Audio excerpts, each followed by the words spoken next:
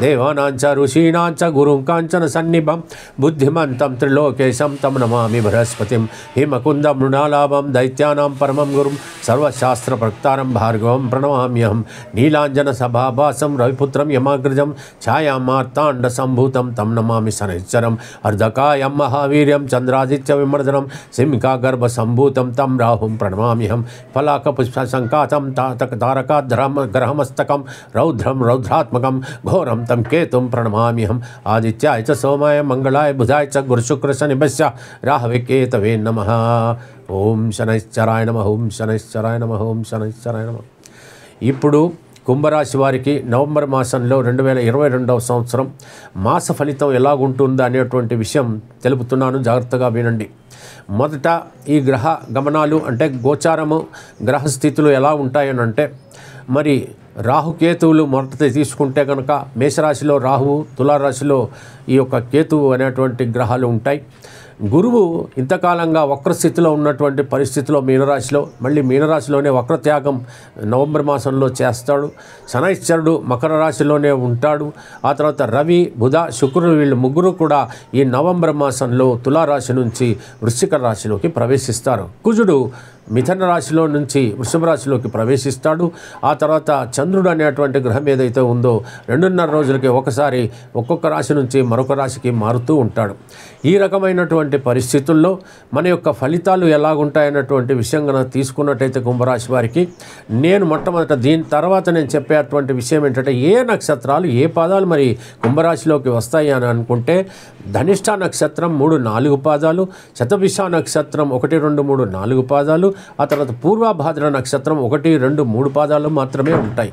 ఈ యొక్క రాశుల వారు కుంభరాశి వాళ్ళు ఈ యొక్క మాసం అంతా కూడా అనేకానేక శుభ ఫలితాలతో చాలా అద్భుతమైనటువంటి రీతిలో ఆనందిస్తారు అని మాత్రం చెప్పవచ్చు.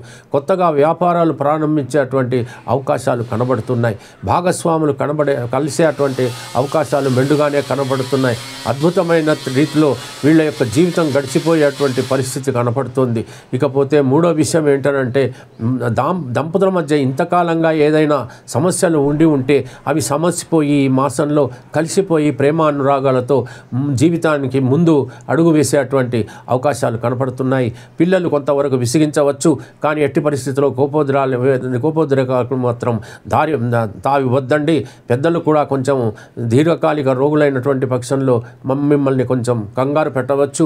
వైద్య సదుపాయం మంచి వాళ్ళకు కూడా మీరు తప్పకుండా ఉపశమనం కలిగించాల్సినటువంటి పరిస్థితి వాళ్ళ ఆశీర్వాదాలు పొందవలసినటువంటి స్థితిగతులు ఉంటాయి. ఇకపోతే మరో విషయం ముఖ్యంగా ఏంటంటే దూర ప్రయాణాలు చేయవలసి వస్తే మాత్రం మీరు నేను చెప్పినటువంటి శుభ తేదీల్లో మాత్రమే ప్రయాణాలు చేయండి. అవి ఏవే తేదీలంటే పదిహేడవ తేదీ పద్దెనిమిదవ తేదీ ఇరవై నాలుగో తేదీల్లో మాత్రమే మీ ప్రయాణాలు మాత్రం సాగించండి. ఏ తే ఎందుకు ఏ కారణం చేతనైనా ప్రయాణం సరే. ఉద్యోగరీత్యానో లేకపోతే తీర్థయాత్రల రీత్యానో బాధ్యత రీత్యానో లేకపోతే ఏదైనా వ్యాపార రీత్యానో లేకపోతే విహారయాత్రల కోసమో ప్రయాణాలు చేస్తూ ఉంటాం. అటువంటి ప్రయాణాలు చేయవలసి వచ్చినప్పుడు మీరు ఖచ్చితంగా నేను చెప్పినటువంటి ఈ పదిహేడు పద్దెనిమిది ఇరవై నాలుగో తేదీల్లో మాత్రమే ప్రయాణాలు చేయాలి. ప్రతికూలమైనటువంటి తేదీలు కూడా ఉన్నాయి. అవి ఎనిమిది పన్నెండు పంతొమ్మిదవ తేదీలు ఈ తేదీల్లో మాత్రం ఎట్టి పరిస్థితుల్లోనూ ప్రయాణాలు చేయకూడదని మాత్రం తెలుసుకోవాలి. ఇకపోతే మరొక విషయం ఏమిటంటే వివాహాలు కానటువంటి వాళ్ళు అనే అనే అనేక రోజుల్లోంచి లేకపోతే అనేక మాసాల్లో నుంచి రెండు మూడు నాలుగు సంవత్సరాలు అయిపోయినప్పటికీ కూడా వివాహాలు జరగకుండా ఉండి ఉంటాయి. ఇప్పుడు మీరు సత్వరం మీ యొక్క ప్రయత్నాలు ప్రారంభించండి. మీకు వివాహ కాలం అనేటువంటిది ఆసన్నమైందని తెలుసుకోండి. మీరు కనుక సరి అయినటువంటి రీతిలో సెర్చ్ అంటే వెతికినట్టయితే భూ వధువులకి వరుడు కానీ వరుడికి వధువు కానీ దొరికేటువంటి అవకాశాలు గట్టిగా కనపడుతున్నాయి. భాగస్వాములు ఎవరైనా మీ వ్యాపారం ప్రారంభించాలని వచ్చినప్పుడు తప్పకుండా కలుపుకోండి. జాతకాలను మాత్రం మ్యాచింగ్ చేసుకుని అన్ని అన్ని విధాలా బాగుందనుకుంటే ఏ ఏ రకమైన అద్భుతమైనటువంటి వ్యాపారం మీ బాగుంటుంది అనేటువంటి విషయం తెలుసుకున్న తర్వాత నిష్ణాతులైనటువంటి జ్యోతిష్యులతో ఆ తర్వాత మాత్రమే మీరు వ్యాపారాలన్నింటివి నిర్ణయం చేసుకుని ఆ రకంగా మీరు స్థాపితం చేసుకోండి. కొత్త తర్వాత వ్యాపారాలు పెంపొందించుకోవాలనుకుంటున్నటువంటి వాళ్ళు స్నేహితులు కనుక మీకు ఏమైనా అప్పుగా సహాయం ఇస్తే తప్పకుండా మీరు తీసుకోవచ్చు. మీరు తర్వాతి కాలంలో అప్పులు తీర్చేటువంటి పరిస్థితి కూడా ఏర్పడుతుంది అనేటువంటి విషయం తెలుసుకోండి. విదేశాలకు వెళ్ళాలనుకున్న అనుకుంటున్న వాళ్ళు వెంటనే ప్రారంభించండి. ప్రయత్నాలు తప్పకుండా ఉద్యోగం కోసం కోసం అయితేనేమి విద్య కోసం అయితేనేమి వెళ్ళేటువంటి అవకాశాలు మెండుగానే కనపడుతుంది దాన ధర్మాలు చేయండి. భక్తి శ్రద్ధలు అనేటువంటి చాలా ముఖ్యం. ఆత్మవిశ్వాసం పెరగటానికి ధైర్యం కలగటానికి భక్తి అనేటువంటిది చాలా ఒక అద్భుతమైనటువంటి దారి అని మాత్రం తెలుసుకోండి. ప్రతిరోజు కూడా హనుమాన్ చాలీస చదవండి. ఖచ్చితంగా మీరు ఎట్టి పరిస్థితుల్లోనూ దాన ధర్మాలు మాత్రం చేసి తీరాల్సిందే.